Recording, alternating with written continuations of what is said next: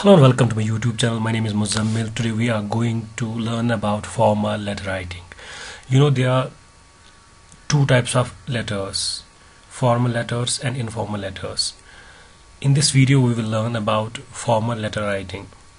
We will learn what formal letters are. Formal letters होती क्या है formal letters are letters written the persons which are not known personally जिन लोगों को आप ज़ाती तौर पे नहीं जानते हो उन लोगों को ये चिट्ठियाँ लिखी जाती है ऑफिशियल काम के लिए।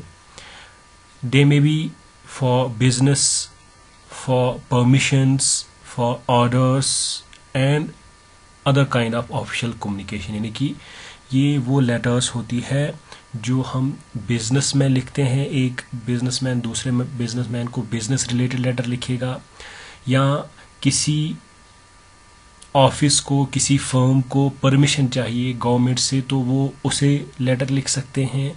या कोई गवर्नमेंट ऑफिशियल, कोई ऑर्डर निकालेगा एक दूसरे गवर्नमेंट ऑफिशियल के लिए तो वहाँ पे लेटर लिख सकते हैं। या आप किसी ऑफिशियल को लेटर लिख रहे हो, ऑफ़िस में कोई मदद आपको चाहिए, कुछ आपके इश्यूज़ है या अपने, अपना जो बॉस है, उसको चिट्ठी लिखोगे तो ऐसे सारे मामलातों में जो लेटर्स लिखे जाते हैं, उनको हम फॉर्मल लेटर बोलते हैं। They are impersonal in tone इनका जो लहजा होता है, वो इम्पर्सनल होता है। यानी कि आप ज़ाती तौर पे उस शख्स को चिट्ठी नहीं लिखते हो, आप उसके ऑफ़िस को लिखते हो। आप ऐसे चिट्ठी नहीं लिखते हो कि आप उसे जानते हो, इसलिए उसे चिट्ठी लिख रहे हो। न, बल्कि आपका कोई दफ्तरी काम है, कोई ऑफिशियल वर्क है उसी काम के लिए आप उसकी, आप उसको ये चिट्ठी लिखते हो। अब चूँकि आपको पता है जो नया पैटर्न है, कुछ चेंजेस आई है, उनको भी हम कवर कवर कर लेंगे। इसमें हम देखेंगे कि पूरा जो लेटर लिखने का पैटर्न है, वो क्या है। लेटर लिखने का पूरा जो फॉर्मेट है, वो हम इसमें देखेंगे। सबसे पहले हमें जो फॉर्मेट है, उसको हम देखेंगे, उसके बाद एक साथ में सबको सब कुछ आपको समअप करके दिखाऊँगा। जैसे यहाँ पे आप देख रहे हो पहले सेंडर एड्रेस तो इसका जो थोड़ा सा एग्ज़ाम्पल है, वो आप इस साइड देखोगे। इस साइड में फॉर्मेट दिखाऊँगा और इस साइड आप वो लेटर जो है उसका, उसकी एग्ज़ाम्पल देखोगे। जैसे यहाँ पे सेंडर्स एड्रेस सेंडर्स एड्रेस मतलब जो भेजने वाला है, वो अपना एड्रेस यहाँ पे लिखेगा। जैसे आप किसी को चिट्ठी लिख रहे हो तो आप अपना एड्रेस यहाँ पे लिखोगे। जो भी लेटर भेजेगा, वो एड्रेस जो है अपना यहाँ पे लिखेगा। तो for example one three one Aliyabad Kulgam state J and K and this is pin one nine two two three one यहाँ पे क्या करना है आपको मैक्सिमम थ्री लाइन्स यूज़ करनी है। तीन से ज़्यादा लाइन्स में आप जो है एड्रेस नहीं लिखोगे। ओनली थ्री लाइन्स सिर्फ़ तीन लाइन तीन से कम लिख सकते हो, एक ही में लिख सकते हो, लेकिन तीन से ज़्यादा नहीं। जो भी सेंटर अपना एड्रेस लिखेगा फॉर्मेट के हिसाब से उसे मैक्सिमम थ्री लाइन्स यूज़ करनी है एड्रेस लिखने के लिए। देन उसके बाद जो है डेट वो डेट आप करेक्ट फॉर्मेट में लिखोगे, यानी कि यहाँ पे आप इस तरीके से डेट लिख सकते हो। मतलब जो मंथ है उसको ऐसे लेटर्स के थ्रू लिखना है। ऐसे नंबर से आप मंथ नहीं लिखोगे। जो पूरा नाम है किसी भी मंथ का, वो आप लिखोगे। फॉर एग्जांपल यहाँ पे 27 मई 2020 तो ऐसे ही आप यहाँ पे डेट लिखोगे। तो यहाँ पे जो डेट होता है, इसको आप 27 zero five two zero two zero नहीं लिखोगे। हमेशा यही फॉर्मेट यूज़ कर लोगे बट विच इज़ एक्सेप्टेबल जो ऑफिशियली एक्सेप्ट किया जाता है। तो ऐसे आप मंथ जो है, उसको एग्जैक्टली exactly उसका नाम लिखोगे। या आप 27 मे भी लिख सकते हो। पहले 27 उसके बाद मे और उसके बाद 2020 ऐसे भी लिख सकते हो। Then you have to leave a line blank यहाँ पे एक लाइन छोड़नी है, जिस तरह यहाँ पे एक लाइन छोड़ दी है। एड्रेस के बाद सेंडर्स एड्रेस के बाद एक लाइन खाली, उसके बाद डेट और उसके बाद एक और लाइन खाली। यहाँ पे एक ओनली वन लाइन यहाँ पे भी एक लाइन खाली और उसके बाद रेडी रिसीवर्स एड्रेस जो रिसीवर है आपकी चिट्ठी का, उसका एड्रेस यहाँ पे लिखना है। द डिप्टी कमिश्नर कुलगाम यानी कि जो भी उसका एड्रेस होगा, वो आप यहाँ पे लिखोगे उसका एड्रेस कंप्लीट एड्रेस जो भी होगा, जिसको आप चिट्ठी भेज रहे हो, उसका एड्रेस आप लिखोगे यहाँ पे। नेक्स्ट जो है, सबसे बड़ा जो चेंज है, वो सैलिटेशन में आया है। इसके बाद जो हम रिसीवर्स एड्रेस के बाद सब्जेक्ट लिखते थे। लेकिन यहाँ पे हमें क्या करना है? पहले सैल्यूटेशन लिखना है, यानी कि जिसमें आप कह सकते हो डियर सर डियर मैडम तो ये आप पहले लिखोगे यहाँ पे। ये आप पहले लिखोगे, उसके बाद सब्जेक्ट लिखोगे। यहाँ पे जो स्पेस मैंने रखी है स्पेस मतलब आपको आपको एक एक लाइन यहाँ पे स्किप करनी है। एक लाइन छोड़नी है और उसके बाद नेक्स्ट लाइन में लिखना है। तो यहाँ पे लाइन आप छोड़ोगे, इस, इसी तरह आप इसके ऊपर भी एक लाइन छोड़ोगे और यहाँ पे आप लिखोगे फिर सब्जेक्ट याद रखना डियर सर और डियर मैडम ये आप लिखोगे, उसके बाद लाइन छोड़ोगे और उसके बाद सब्जेक्ट लिखोगी।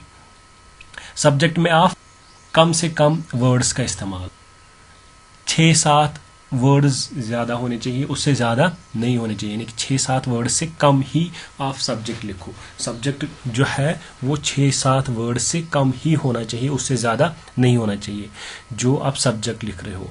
नेक्स्ट उसके बाद सब्जेक्ट लिखने के बाद आप फिर से एक और लाइन छोड़ोगे और फिर आप कर लोगे इंट्रोडक्शन इंट्रोडक्टरी पैरा में जो है, वो आप स्टार्ट कर लोगे ऐसे ही on behalf of the residents of Aliyabad for example ये जो लेटर है, हम लिख रहे हैं, इसमें जो सब्जेक्ट है कि हमारे इलाके में एक पोस्ट ऑफ़िस कायम कर लो। ये आप किसी गवर्नमेंट ऑफिशियल को चिट्ठी लिख रहे हो, उसको ऑफिशियल लेटर लिख रहे हो कि हमारे एरिया में कोई पोस्ट ऑफ़िस दे दो। इंट्रोडक्शन में आप बताओगे कि प्रॉब्लम क्या है। हम क्या चाहते हैं, हमारा मकसद क्या है, हमारा मकसद क्या है चिट्ठी लिखने का, वो आप इंट्रोडक्टरी पैरा में लिखोगे। देन आप फिर से एक लाइन छोड़ोगे, ये सारा ऐसे ही लिखना है एक ही कतार में, यानी कि आप ऐसे इनको आगे पीछे नहीं करोगे। यहाँ पे लाइन छोड़ोगे और लाइन छोड़ने के बाद यहाँ से फिर दूसरा पैरा आप यूज़ कर लोगे, जो कि बॉडी पैरा टू है। एक तो इंट्रोडक्टरी पैरा है, दूसरा बॉडी पैरा है। इसमें आप लिखोगे कि प्रॉब्लम्स क्या है, हमें इसका सोल्यूशन क्या है, और हम क्या फ़ायदा होगा इस चीज़ से हमें। इस दूसरे पैरा में अगर आपको पूरी प्रॉब्लम नहीं आई, यानी कि कुछ ऐसे इशू रहे जो आप टच नहीं कर पाए, इस पैरा में ज़्यादा लंबा हो रहा है तो आप तीसरा पैरा लिख सकते हो, जिसमें थोड़ा सा आइडिया अलग हो। चेंज इन थॉट हो तो तीसरा पैरा आप लिख सकते हो। जहाँ पे फॉर एग्जांपल आप कहोगे कि दूसरे पैरा में आप कह रहे हो कि जो लेटर्स है वो पोस्ट करनी होती है, हमें ज़्यादा दूर जाना पड़ता है तो ऐसे इश्यूज़ आप बताओगे। तीसरा पैरा जो है उसमें आप कहोगे कि बहुत सारी ऐसी पोस्ट ऑफ़िस की स्कीम्स होती है जिनसे हम फ़ायदा नहीं उठा पाते हैं। तो यहाँ पे थोड़ा सा चेंज ऑफ़ थॉट हो गया, थोड़ा सा डिफरेंट इशू आ गया तो आप इसको दूसरे पैरा में लिख सकते हो, तीसरे पैरा में आई मीन बॉडी नेक्स्ट जो है वो कंक्लूडिंग पैरा है। कंक्लूडिंग पैरा में आप क्या करोगे? आप ऐसे स्टार्ट कर सकते हो considering all these problems we are hopeful that you will resolve our issue and do whatever जो भी होगा, आपको मतलब जिसके बारे में भी आपने चिट्ठी लिखी होगी तो वो इशू आप सॉल्व कर लोगे, उनसे इस तरीके से बात कर लोगे। और इसके साथ आप लिख सकते हो, आखिर में your efforts would be much appreciated ये कॉमन लाइन हो सकती है। तो नेक्स्ट अब एक और लाइन फिर से छोड़ोगे और उसमें आप लिखोगे थैंकिंग यू इन एंटिसिपिएशन तो ऐसे लेटर्स में आप ये लाइन लिख सकते हो, ये कॉमन लाइन हो सकती है। तो ये एक टेम्पलेट जैसा आपका बन गया। तो लास्ट में आप क्या कर लोगे, जो कॉम्प्लीमेंट्री क्लोजिंग है, यहाँ पे आप लिखते हो यूवर्स ट्रूली उसके बाद कॉमा और यूवर्स में एफेस्ट्रॉफी एस यहाँ पे आप यूज़ नहीं कर लोगे। तो यहाँ पे कॉमा यूज़ कर लोगे इसके। एंड में। यहाँ पे आप ट्रूली की जगह पे सिंसियरली भी लिख सकते हो और फेथफुली भी लिख सकते हो बट ओबीडियंटली नहीं लिखना। तो लास्ट में आप लिखोगे अपना फुल नाम। जो भी आपका नाम होगा, वो फुल आप लिखोगे लास्ट में तो इस तरीके से जो आपकी जो लेटर है, वो कंप्लीट हो जाएगी। अब लास्ट में ये सारा मैंने समअप किया है। कुछ इस तरीके से आप अगर देखो तो ये टेम्पलेट जैसा एक बन गया है आपको, जो आप यूज़ कर सकते हो अलग अलग लेटर्स लिखने में।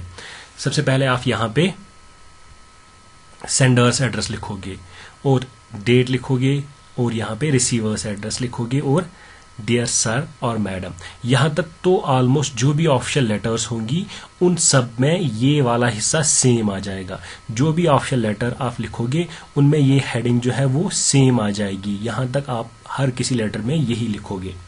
यहाँ पे एड्रेस चेंज हो जाएगा। जो रिसीवर है, चाहे वो आप किसी अखबार के एडिटर के नाम पे लिखो, कोई चिट्ठी, या आप किसी किसी ऑफिसर को लिखो, या आप कोई ऐसी कंपनी वगैरह होगी जिसको आप जॉब के लिए अप्लाई कर रहे हो, वहाँ पे चिट्ठी लिख रहे हो तो ये वाला हिस्सा जो है वो हर किसी में सेम आ जाएगा। उसके बाद सब्जेक्ट सब्जेक्ट उस हिसाब से चेंज होता रहेगा, और याद रखना सब्जेक्ट को कम से कम छः सात वर्ड्स में ही लिखना, उससे ज़्यादा नहीं। देन सब्जेक्ट के बाद आप बॉडी स्टार्ट कर लोगे। एक और बात मैं यहाँ पे बताऊँगा। फॉर एग्ज़ाम्पल आप यहाँ पे लिख रहे हो कोई एक पैराग्राफ जब आप ये पैराग्राफ लिखना स्टार्ट कर लोगे तो आप मान लो कि आपका जो पैराग्राफ है, वो यहाँ तक इस लाइन तक पहुँच गया। तो ये आधी लाइन आपने छोड़ दी। फिर उस वक्त ये नीचे वाली लाइन छोड़नी ज़रूरी नहीं है। उस वक्त आप यहाँ से स्टार्ट कर लोगे दूसरा पैरा। क्योंकि आपने यहाँ पे आधी लाइन छोड़ दी है तो उस वक्त आप यहाँ इस वाले लाइन से स्टार्ट कर लोगे। उस वक्त आपको लाइन छोड़नी नहीं है। लेकिन अगर ये लाइन कंप्लीटली आपने यहाँ तक लिखी तो नीचे एक और लाइन आपको छोड़नी है, ये दिखाने के लिए कि मैं दूसरा पैरा स्टार्ट कर रहा हूँ। तो फिर आप ये बॉडी में आता है, फिर बॉडी में आप क्या कर लोगे? उसमें आप स्टार्टिंग कर लोगे on behalf of the residents of Aliyabad तो ऐसे लेटर जो किसी ऑप्शनल काम के लिए आप लिख रहे हो, कोई आपको डिमांड फुलफिल करवानी है गवर्नमेंट ऑफिसर से तो आप ऐसे स्टार्टिंग कर सकते हो। एंड फिर उसके बाद आप उसका पैरा लिखोगे बॉडी पैरा टू उसमें आप लिखोगे इन डिटेल क्या प्रॉब्लम्स है, उनका सोल्यूशन क्या है, क्या आप चाहते हो तो ये आप यहाँ पे लिखोगे। फिर नेक्स्ट आप एक और पैरा लिख सकते हो जिसमें आप कोई और प्रॉब्लम्स कोई और इश्यू होंगे, जो थोड़े से ऊपर वाले पैरा से हटके होंगे, उनको आप नेक्स्ट पैरा में यूज़ कर सको कंसिडरिंग ऑल दीज प्रॉब्लम्स यानी कि ये कंक्लूडिंग पैरा है, जिसमें आप कहोगे कि इन सभी प्रॉब्लम्स को मद्देनजर रखते हुए हम ये चाहते हैं कि आप ये सारा जो मामला है, हमारे प्रॉब्लम्स है, इनको सॉल्व कर लो। और उसको ये अप्रिशिएट करना, यानी कि कि आपकी जो भी इसमें मतलब कार्रवाई होगी, हम उसको बहुत अप्रिशिएट कर लेंगे। Your efforts would be much appreciated तो ये लाइन्स आप लिख सकते हो। देन आप आगे लिख सकते हो थैंकिंग यू इन एंटिसिपेशन यानी कि आप एंटिसिपेट करते हो, पहले से ही कि अगर आपने हमारा काम कर लिया तो हम आपका शुक्रिया अदा करते हैं वो काम करने के लिए। देन लास्ट में जो क्लोजिंग हो, होगी आपकी इस लेटर की वो आप लिख सकते हो यूअर्स ट्रूली या सिंसियरली या फेथफुली तो यहाँ पे याद रखना एफ़ ट्रॉफी नहीं डालनी है और उसके साथ जो ट्रूली है उसके बाद एक कॉमा ऐड करना है। तो लास्ट में अपना फुल नेम लिखोगे। That's how we write official letters ये पूरा एक टेम्पलेट बन गया। आप ये यूज़ कर सकते हो किसी भी ऑफिशियल लेटर लिखने के लिए। आई होप वीडियो देख के आपने कुछ नया सीखा। अगर सीखा तो लाइक ज़रूर कर ले वीडियो को शेयर ज़रूर कर ले और उसके साथ साथ अगर नए हो इस चैनल पे तो सब्सक्राइब करना ना भूलें। Thank you bye